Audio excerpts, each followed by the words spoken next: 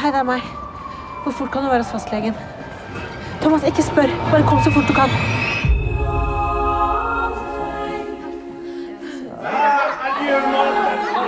Alle klar?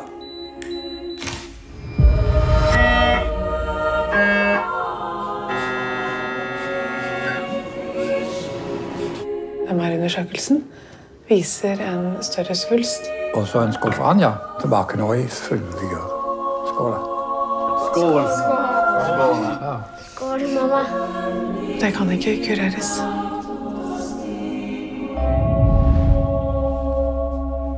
Så hvor lang tid har jeg igjen? Tre måneder. Kan man gifta sig innan operasjon? Hva skal vi si til barnet?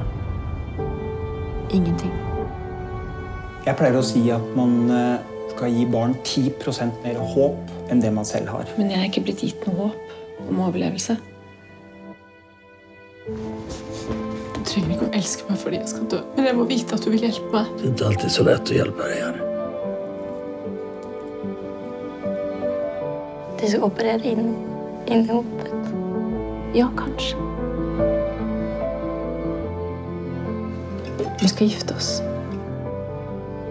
Det er kjolen mamma gifta seg. Gruer du deg? Er du sikker på at dette ikke er for mye for deg? Bryllupsdag og bursdag på en og samme dag, så blir det bare én dag i året dere må minnes med. Så får dere fyrverkeri, da. På kjøpet. Skulle det virkelig en dødsdom til for at du skulle våkne og sette deg selv til side, og så plutselig gjøre alt riktig? Du vil inte? Likevel, gjennom 30 år som lungelege har jeg opplevd at pasienter med hjernemetastaser har overlevd. Hvor mange er de? De kan nok telles på én hånd. Vårt gemensamme liv framstå som et evigt langt slit. Vi har jo ikke levd samme liv. Men livet er ikke, ikke perfekt.